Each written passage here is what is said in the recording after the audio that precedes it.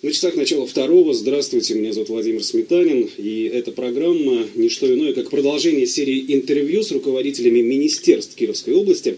Напомню, что большинство департаментов и управлений в составе регионального правительства были преобразованы в министерство 1 июля этого года. И сегодня в нашей студии глава еще одного министерства, Министерства спорта Кировской области, Светлана Медведева. Светлана Владиславовна, добрый день. Добрый день. Между прочим, заслуженный работник физической культуры Российской Федерации, как и министр спорта Российской Федерации Виталий Леонтьевич Мутко, да? Отличник физической культуры России, мастер спорта по плаванию. Ну, мастером спорта вы еще в советское время, да, стали? Сколько, сколько, вам было, сколько вам было? Это лет? было в девятом классе, 15. Девятый ну, класс. подождите, побольше. 16. Что для этого нужно было сделать? Ну, как Ну, человеку не очень, как человек не очень разбирающийся в этих спортивных званиях регалиях, ну, интересуюсь. я думаю, что именно в то время там закалился характер, ну, который трудно там, переломить и напугать чем-то. Это были колоссальные нагрузки, Мгм. большие тренировки по два раза в день ежедневно, за исключением четверга и воскресенья. Первая тренировка начиналась в 5.45. Ну и объем а, проплытых километров в день составлял ну, в самые максимальные дни 20 километров, а в среднем, ну, наверное, 12-14. Впечатляет. Э, ну, находясь на, на посту начальника управления еще по физической культуре и спорту, сейчас в ранге министра спорта вы неоднократно говорили о том, что плавание – это один из перспективных, приоритетных, вернее, видов спорта в нашем регионе. Вот ранее появлялась информация о том, что плавательный бассейн в Кирсе в этом году должен да, появиться. Что, что с плаванием? Значит, у нас? ну, э, у нас плавание вошел э, в число, пока не вошел в число базовых видов спорта, но я думаю, что мы на пути к этому. А базовый вид спорта это, это что? Это перечень э, видов спорта, Мгм. которые в каждом регионе признаются базовыми. Пока это не сильно много нам дает, но тем не менее те виды спорта, за которые у региона особая ответственность. Для того, чтобы быть базовым, нужны высокие результаты и нужна э, развитой уровень инфраструктуры. Вот. э, вообще плавание не то, что приоритетный, на мой взгляд, но каким-то таким административным ресурсом, продвинутый в, эти, в этот список, плавание приоритетный из-за того, что он очень необходим просто для жизни. Любому человеку плаванием можно заниматься с рождения и до преклонного возраста. Не то, что можно, а нужно и полезно заниматься. Многие люди сейчас, думая о здоровье, об этом вспоминают. И на сегодняшний день у плавательных бассейнов нет э, дефицита в желающих их посещать. Вот то, что касается результатов э, с введением строя бассейна Быстрица, школа получила очень комфортные, можно сказать, шикарные условия для тренировок. На сегодняшний день у нас есть ребята, которые неплохо показывают себя на уровне э, юниорской сборной страны. И что особенно приятно, значительный скачок произошел в результатах э, ребят-инвалидов. Миша Кулябин у нас недавно стал э, бронзовым призером чемпионата мира среди инвалидов. По И- плаванию. по плаванию, да. И получил лицензию на Паралимпийские игры в Бразилию. Когда они состоятся? э, На будущий год это серьезная, А, 16-й год, да, серьезная заявка. И сейчас будем стараться, чтобы он оказался участником, минимум участником.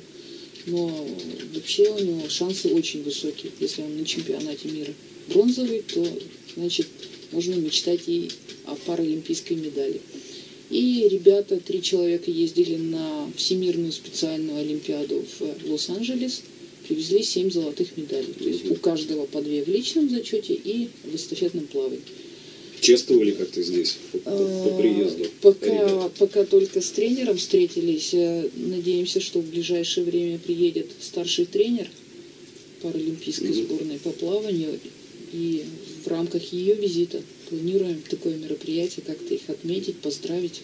А в плавании тоже, вот так, как во многих других видах спорта, показывает там, юноша, девушка какие-то результаты выдающиеся, и вот он начинает переманивать в другой город. Да, Есть такие движения тоже? Это абсолютно так же. И многие годы мы были поставщиками наших спортсменов в Волгоград. Были хорошие отношения с тренером Анастасией Павловной Сафроновой. Но на сегодняшний день нет необходимости у пловцов покидать город Киров. Условия для тренировок идеальные. э, при достижении высоких результатов э, спортсмены получают возможность встать на ставку спортсмена-инструктора в Центре спортивной подготовки, получать заработную плату, есть возможность быть командированными на любые соревнования, потому что кроме того, что у них неплохая бюджетная составляющая всего результатов, есть еще и серьезная поддержка от Уралхима который уже второй год является основным спонсором э, областной федерации плавания. И, в общем-то, пловцы сейчас ни в чем не нуждаются. А у нас на базе тоже Быстрицы пока еще, ну, могу ошибаться, конечно, не проводилось никаких крупных соревнований. И планируется ли их проведение? Ну, вообще, вот мы даже не замахивались на масштаб э, там, первенств чемпионатов Российской Федерации, потому что для этого желательно иметь бассейн с двумя ваннами а это нам не нужно, потому что это объект стал бы очень дорогой в содержании. Мы умышленно строили бассейн, который нам нужен для тренировок, но проходит у нас ежегодно значит, на памяти Яны Шамаровой соревнования. В прошлом году было 600 участников. Ну, половина страны точно была представлена. И проходит кубок памяти Владимира Евгеньевича Бугреева. Тоже там порядка 15-20 регионов приезжают. Это вполне достаточный уровень для того, чтобы сохранять и поддерживать интерес к плаванию. Число э, вятских молодых пловцов год от года растет, те, у которых есть уже спортивные звания, разряды. А, вообще Кировская область, надо сказать, тут приятно э, была не то что удивлена, наконец-то мы получили первый результат работы вот за 6 лет заняли по стране первое место по присвоению массовых разрядов. Угу. Это касается всех видов спорта, но плавание здесь совершенно не исключение. Количество желающих заниматься ну, стабильно высокое, нет возможности принять всех на бюджетные места, поэтому проводится конкурс.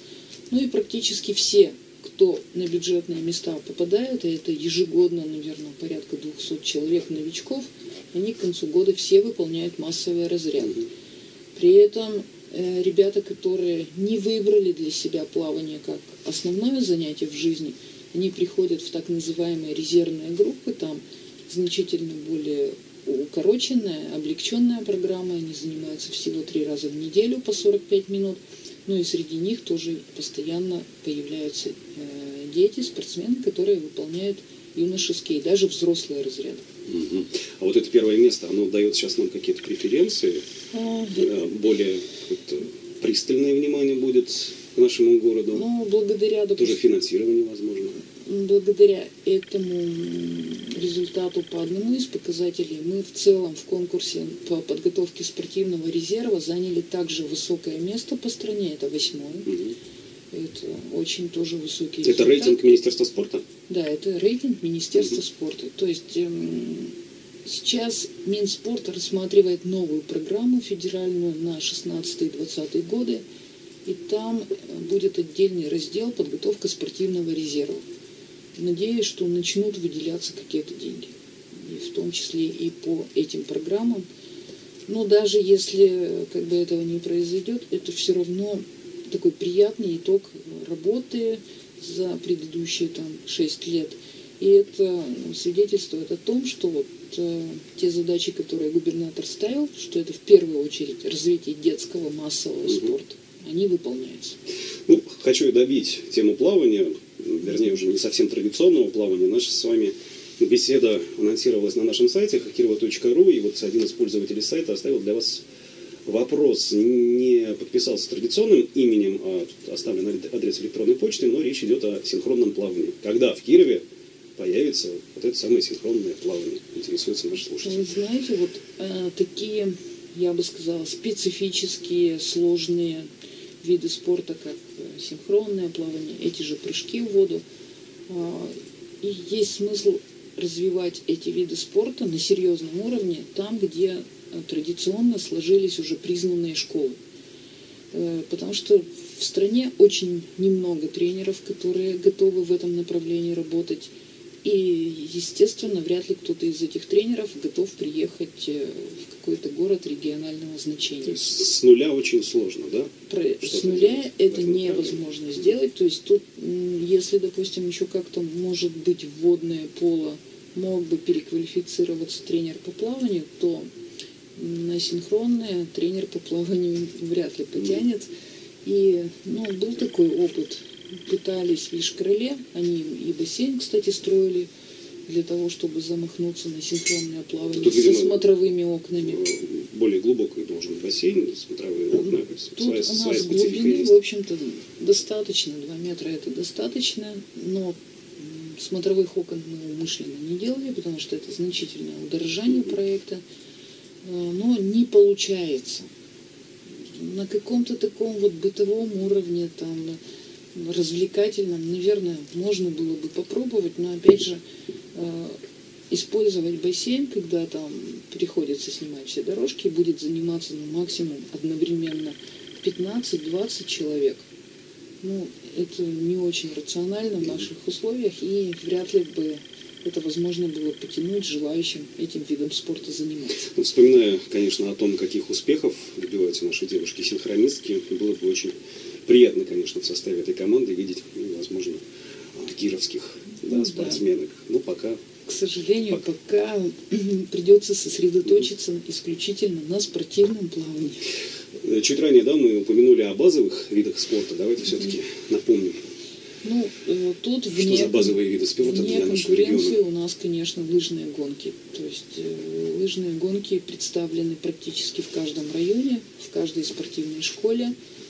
У нас традиционно высокие результаты, но это, собственно говоря, и обусловлено тем, что у нас есть пирамида. То есть в, во всех видах спорта, а в циклических особенно, очень важно э, на начальном этапе иметь большой большое количество спортсменов для того, чтобы потом выявить из них талантливых и на выходе получить высокий результат.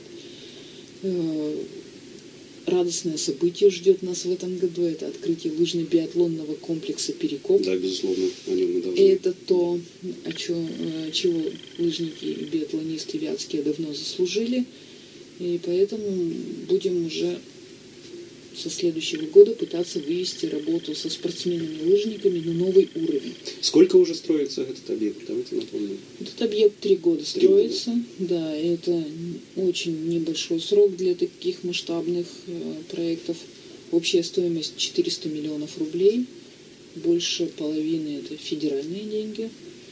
Поэтому такой серьезный э, комплекс. Недавно приезжали представители Союза биатлонистов России и Федерации лыжных гонок.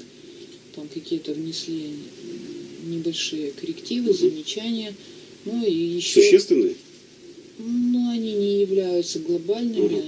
Они существенные э, для тех, кто будет эксплуатировать этот объект в ближайшем будущем. Ну, а по строительным меркам, мне кажется, это нюансы, которые можно поправить в оставшиеся ну, месяцы. Технического плана. Технического плана, да.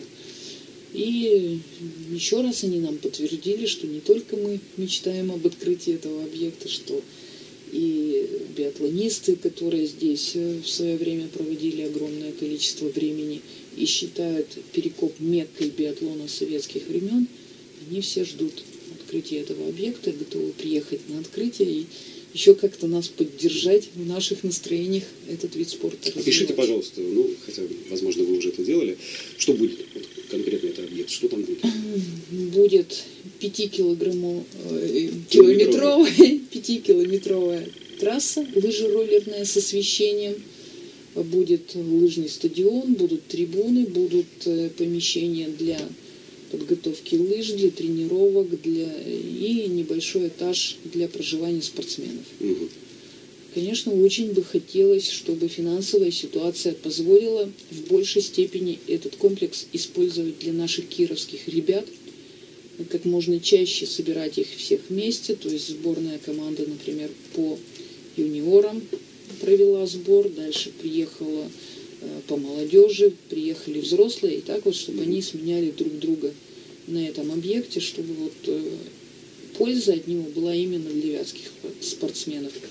Но ну, в первое время, конечно, такой идеальной ситуации не получится, придется э, приглашать и иногородних здесь тренироваться для того, чтобы вот, все-таки первые годы этот объект раскрутить, поддержать деньгами ну, больше-то подкрепить финансово. Он пустовать не будет. То есть желающих и потребность в нем очень высока. На сегодняшний день у нас пока такой возможности не было, часто собирать всех своих спортсменов в одном, в одном месте. Вообще идеальная ситуация, когда спортсмены молодые имеют возможность тренироваться бок о бок со своими уже именитыми, э, так сказать, согражданами. Потому что это очень здорово подтягивает молодежь. Это даже тут можно э, не приглашать какого-то суперспециалиста, просто учась друг у друга, они очень сильно подтягиваются и в результатах в том числе. Про иногородних спортсменов сказали, упомянули. Они э, за какую-то плату будут, да, у нас Да, это арендовать? Однозначно, да, они будут оплачивать услуги по проживанию, питанию, будут ус- услуги трассы оплачивать. Ну, это как бы внебюджетная составляющая. Мгм. Будет новое учреждение. С 1 января начнут действовать наше новое учреждение, но уже созданное не в виде спортивной школы, не доп. образования, а будет учреждение спортивной подготовки, Центр зимних видов спорта «Перекоп». Ну, Так будет называться. зимних видов спорта. Ну, при этом круглогодично он будет Он функционировать, будет, да?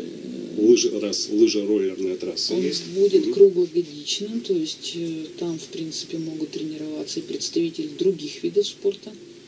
Все равно там условия для проживания, м, усло- трасса асфальтированная, могут вполне потренироваться и легкоатлеты. В- В Сыктывкаре, в Ханты-Мансийске не только лыжники и биатлонисты тренируются на этих объектах.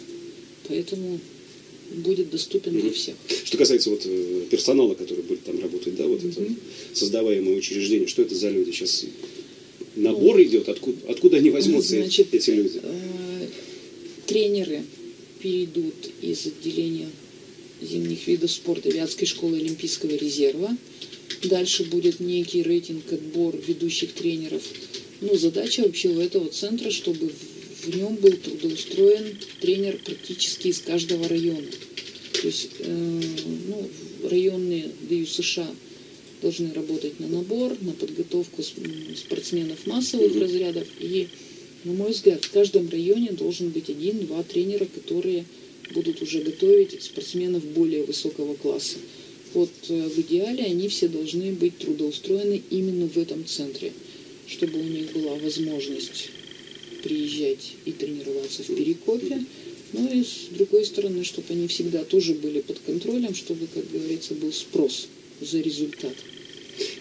Ну, раз уж мы говорим о спортивных стройках, давайте еще о физкультурно-оздоровительных комплексах.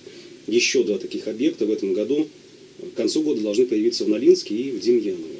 Стройка сейчас там тоже идет, да? Ну, этот год очень благоприятный по федеральным деньгам. Есть, несмотря на кризис, э, Министерство спорта России перед нами выдерживает все свои обязательства. 170 миллионов федеральных денег уже в бюджете области.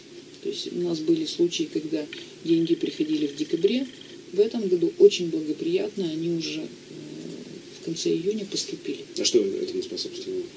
Ну, наверное, в этот раз Личное общение губернатора, мы знаем, что... Нет, в, в этот раз, наверное, то, что и Минспорт России начал там более качественно работать с Министерством финансов. России. То есть деньги у нас на счету, поэтому сейчас наша очень важная задача эти объекты построить и сдать вовремя. Мы отслеживаем в режиме онлайн, веб-камеры везде стоят. Ну, я бы сказала, чисто визуальная картинка, конечно, очень радует в Налинске. То есть сейчас там уже возведен каркас и начинается, началось строительство кирпичного пристроя. Э, В Демьяново мы были в субботу вместе с заместителем губернатора Матвеевым Дмитрием Александровичем. Там чисто визуально пока, конечно, грустно. Но мы понимаем, что глава района понимает ответственность, и э, подрядчики понимают. Сроки срываются, что ли? Нет, там, Грустно. нет, там, ну, вот на сегодняшний день... Или сама местность какая-то такая? Нет, на сегодняшний день глазом видно только опоры для фундамента. Но мы понимаем, что там потребовались значительные усилия по установке этого фундамента. Он свайный. И много потребовалось времени и сил. Но меня, честно говоря, это не очень пугает, потому что в 2009 году, вот сегодня, кстати, своеобразный там, день рождения этих проектов, потому что мы 17 августа 2009 года только выходили на стройплощадки. То есть там еще был даже не разра... Э, площадка была просто поросшая там. Деревьями и так далее. Это Санчуш, Тужа, Котельнич. Но тем не менее 25 декабря все объекты уже работали.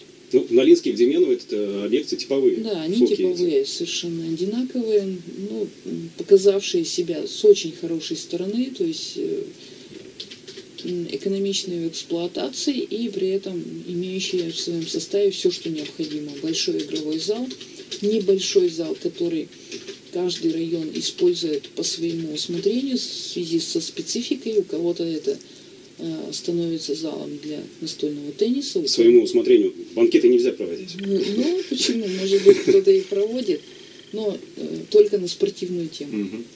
То есть там где-то стоят теннисные столы, где-то тренажеры установлены. Ну, в общем, такой зальчик, плюс раздевалки, и вот, собственно говоря, весь набор опций. Сеть комплексов в нашем регионе сколько уже насчитывает? Ну, вот с этими объектов? сейчас 7, угу. будет 9. 9. Да. Ну, надеюсь, что все будет хорошо, и эти объекты откроются к 1 декабря, как у них угу. в муниципальных контрактах обозначено со строителями. И что это значит? Если мы сдаем вовремя, то мы э, можем претендовать на свое эффективное участие в следующей программе 16-20. У нас там серьезные планы, то есть продолжить строительство таких же небольших спортивных залов угу. и перейти все-таки к массовому тиражу плавательных бассейнов, с чего начинали, которые очень необходимы области и для оздоровления людей, и для обучения школьников плаванию, и для сдачи норм ГТО, потому что у нас с этим, с бассейнами у нас дефицит угу. большой. А я помню, что касается фоков, были проблемы в Котельниче, в Мутнинске.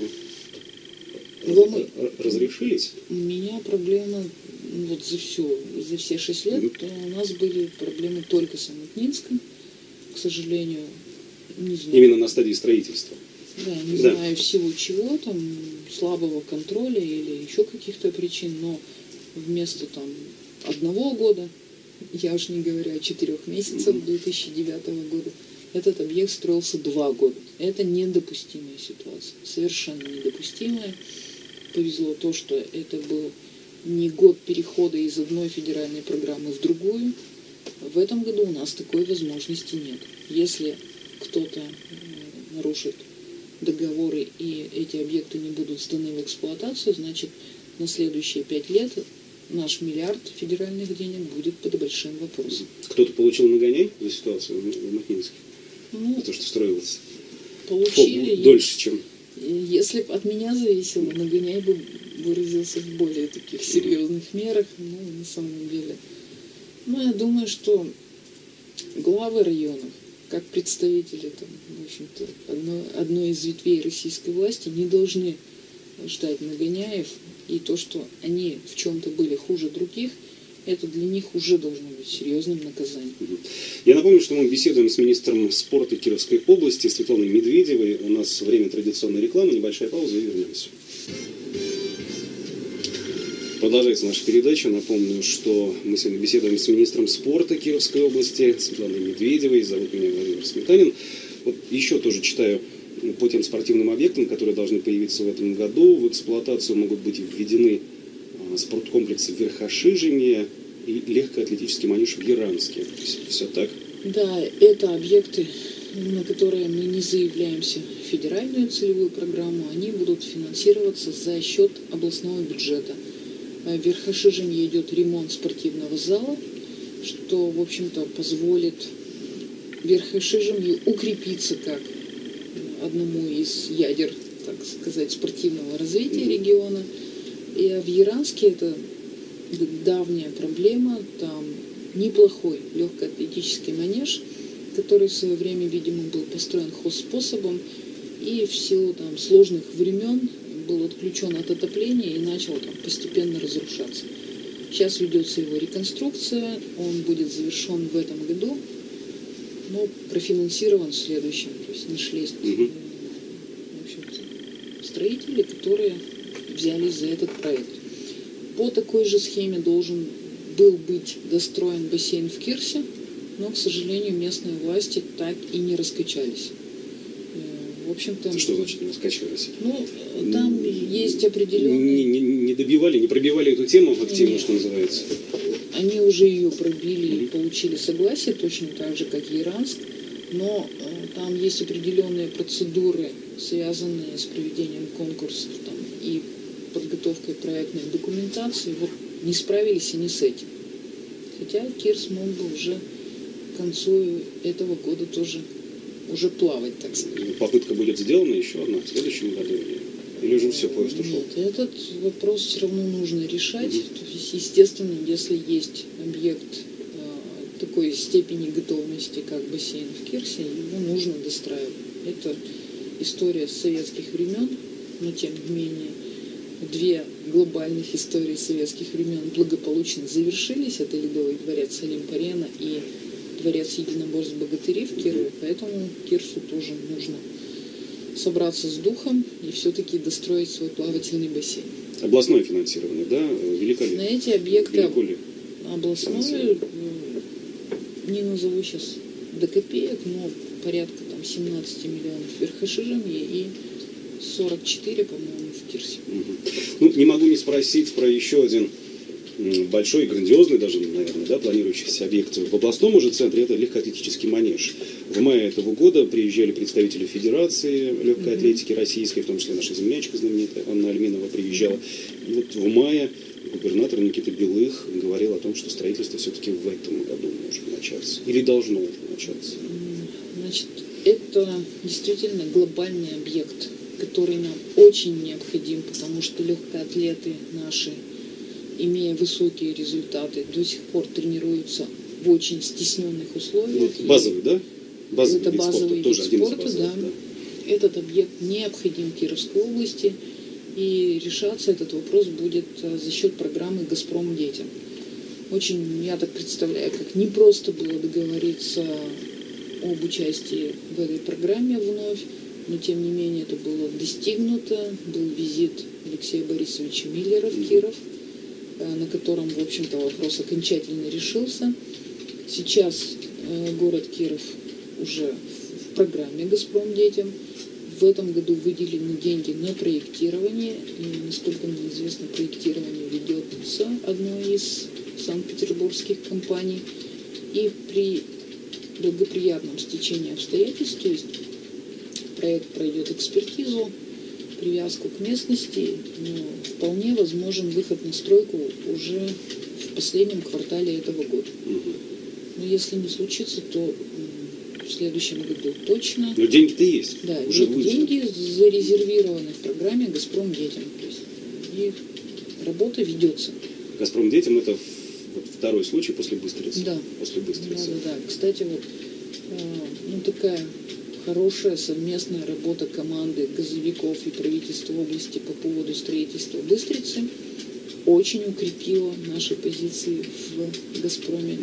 И именно благодаря тому, что построен качественный объект, э, который используется детской спортивной школой, школой и все газовики там высокого ранга, которые приезжали и видели Быстрицу, они все вот именно это отметили, что нам очень приятно, что мы построили это для детей.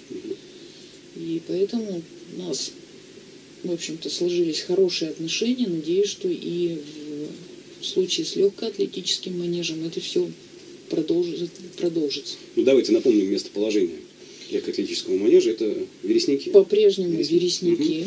Э, Когда начнется привязка к местности, я не исключаю, что могут возникнуть какие-то ну, непреодолимые сложности, тогда город готовит какую-то резервную площадку, пока не могу сказать, где точно. То есть на всякий случай что-то что-то что-то готовится. Ну да, но вообще, конечно, лучше бы, было бы все-таки реализовать намеченное и начать двигаться в ту сторону, потому что там, ну, возможно, не ограничится одним легкоатлетическим манежем, а появятся еще какие-то, может быть, не такие глобальные, но спортивные опции. То есть, может быть, велодорожки там, протяженные, чтобы э, была возможность у всех желающих принять участие в занятиях спортом. Остается у нас не так много времени. Про внедрение системы «Готов к труду и обороне» хочу затронуть эту тему. На, на каком сейчас этапе Значит, э, эта система? Этот год, он такой заключительный по поводу подготовительных мероприятий. Осенью должен выйти закон о ГТО. У нас еще такого не было. У нас до этого был только закон о физической культуре и спорте, а так вот, что по отдельному проекту был закон, такого еще не было. Ну, собственно говоря, в этом законе будет расписано окончательно все уровни ответственности, муниципальный, региональный, федеральный. Но на сегодняшний день идет активная регистрация на сайте. По последним данным СМИ сообщили, более 5000 человек уже зарегистрировались на сайте ну, gto.ru. На самом деле это немного. Немного? Я имею в виду Кировская область. Да, в Волгоградской области уже давно было больше 80 тысяч. Но опять, с другой стороны, не так и мало. В общем, интерес э, есть. Э, сейчас каждый район определяется с центрами тестирования, определяются места тестирования. Пользуясь случаем, еще раз хочу всем напомнить, что не предполагается какого-то спонтанного течения внутри этого проекта. Это государственный проект, который будет реализоваться только в соответствии с теми правилами, которые утвердит нам федеральный закон. То есть э, принять участие в тестировании ГТО можно будет только в местах тестирования, которые будут определены каждым муниципалитетом самостоятельно. Э, зафиксировать результат участников смогут только сертифицированные судьи. Обработать результаты могут только центры тестирования – а присвоить э, звание там, или вручить значок того, той или иной степени может э, серебряный и бронзовый решается приказом регионального уровня, золотой значок только приказом Министерства спорта. Каждый россиянин единожды в году может принять участие в тестировании ГТО бесплатно. И вот когда у нас появляется в паблике, на сайтах э, какая-то частная инициатива клубов или граждан, что давайте приходите, мы у вас примем нормы ГТО, это не соответствует действительности. А когда еще и предлагается это сделать за деньги, то сразу знаете, что это авантюра. Но наказание при этом не предусмотрено за ну, такие вещи. вот выйдет федеральный, Возможно, в законе, да, федеральный все будет закон прописано. выйдет, то там вполне возможно и будут прописаны санкции к нарушителям порядка. В общем, совет нашим слушателям, да, если вы видите, слышите такую информацию, что вас призывают, шарлатаны пока, да, по большому счету. Ну, на сегодняшний день, да, то есть масс, массовое, массового тестирования ГТО по стране еще не началось. Официально прошла только декада ГТО для школьников 11-15 лет. Угу. Кировская область приняла участие Э, в этом проекте. И в сентябре наша сборная области поедет э, в Белгород на участие в фестивале ГТО Всероссийском. Э, порядка 15 человек из Кировской области, ребят, получат золотые значки. Это будут первые значки с ГТО там, в стране и в Кировской области. А как? Закон еще не принят, значки уже будут получать? Ну, к этому времени значок, а. закон уже выйдет. Угу. Да, это будут первые ребята, которым будут вручены значки. Э, но они, собственно говоря, не, не просто вручается значок, вручается удостоверение. И если в будущем году они станут абитуриентами, они смогут уже получить дополнительные баллы. На э, вот эту декаду Всероссийскую ГТО поедут 6 человек из Оричевского района и 2 кировчанина. То есть все-таки выбрали из тех, кто участвовал самых лучших. А с 1 сентября в каком-то виде ГТО уже в школы, да, пойдет? Да, с 1 сентября мы, мы-то готовимся к тому, чтобы уже с сентября, когда заработает вот этот э, весь сайт ГТО уже угу. не только для регистрации, уже для фиксации результатов, мы настроены на то, чтобы с сентября начать уже пробные Э, такие акции не только для детей, но и для желающих взрослых. Есть э, ряд предприятий, активных граждан, Мгм. которые хотели бы уже себя Попробовать попробовать в этом году. То есть будем к этому стремиться, чтобы уже начать этот процесс в этом году. С э, С 2016 года э, мы обязаны для всех школьников предоставить такие возможности, а с 2017 года э, для органов власти является обязательным э, уже предоставить такую возможность для всех желающих граждан. Это очень масштабная работа, которая потребует больших и людских сил, и финансов, и всего прочего, но другого выхода нет, поэтому будем участвовать в этом. Давайте еще раз напомню, сайт в интернете gto.ru, вот можете туда заходить и узнавать все подробности о данной системе. А, Кстати, не так давно был праздник, День физкультурника, Да, 8 августа, да, да, да. с профессиональным праздником. Спасибо. Как прошел? На, Спасибо. на Динамо, да, у нас? Но на самом, на самом деле прошли. День физкультурника проходил вообще в каждом районе. И, как правило, он отмечается проведением спортивных соревнований. То есть все всегда в работе в свой праздник. Э, В городе Кирове была организована встреча работников физкультурно-спортивной отрасли на теплоходе. Небольшая прогулка, общение, обсуждение там итогов, э, планов на будущее. Ну, конечно, центральным событием было открытие стадиона «Динамо». С новым искусственным С новым полем. покрытием, да, конечно, мы все видим, что это только первый шаг, и потребуется еще огромная масштабная работа для того, чтобы «Динамо» снова там заблистал, как был в советские времена. Но поле, конечно, идеального качества. Я не футболист, не играла, но, Но приятно но, но- пройтись, но пробежаться. видно, видно, Мгм. что это покрытие очень высокого уровня. У нас времени вот буквально уже не остается. Я хотел, если есть какие-то крупные спортивные мероприятия на ближайшее время, чтобы мы их проанонсировали. Ну, в ближайшее время, в сентябре у нас состоится спартакиада воспитанников детских домов Приволжского федерального округа. Э, Порядка 400 детей съедутся в Кировскую область. Будут соревнования проходить э, как базово на спортивном комплексе «Факел» Ленинградская 1. Ну, а из каких-то международного формата в ближайшее время пока ничего не будет. У нас традиционно э, сентябрь как бы начало такого активного спортивного спортивной жизни. Октябрь, ноябрь, декабрь это уже как вот такие очень жаркие месяцы для спортсменов. Ну, из международного формата, наверное, ближайший это октябрь, звездочки дзюдо в России. Мгм. Будут во дворце единоборств. Ну, уже традиционные Да. мероприятия, которые проходят в нашем городе. Спасибо, министр спорта Кировской области Светлана Медведева. Спасибо большое. Ну и, кстати, э, да, ждем э, вашу э, традиционную программу «Спорт с Медведевой». Но, к сожалению, министерская работа предполагает много времени уделять основной работе. Ну, буду стараться. Ну, будем надеяться. Спасибо. большое, всего доброго. Спасибо.